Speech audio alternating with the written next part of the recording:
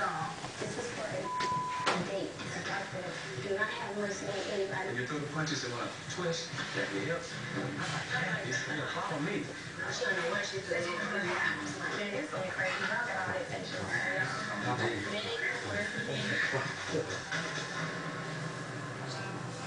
All right, ladies, it's about that time.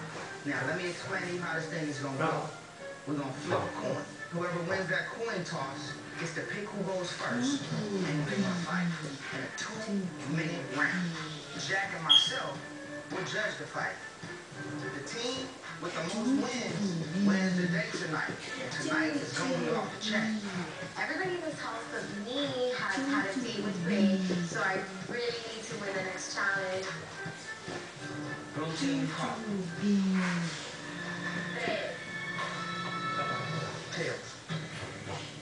So we do the coin toss, and the team's team wins. I think the blue team's pretty pissed off. We're definitely off to a good start. The pink team won the oh, Good coin toss. boy. Who y'all pick to come out of y'all team first Good to fight? boy.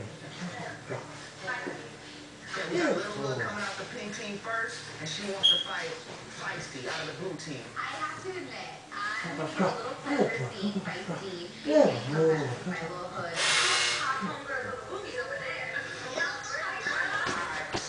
Number second, who you wanna fight?